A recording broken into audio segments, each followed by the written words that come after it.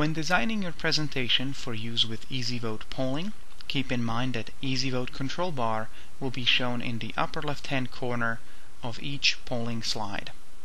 Please note it, it is only the polling, the ARS slides, that the control bar will be shown on, not every PowerPoint slide. However, you can turn that off in Settings under Tools. Select Show Control Bar dropdown and choose No Slides. Please note I am making the change on presentation level, therefore all ARS or polling slides will be affected when I click Save.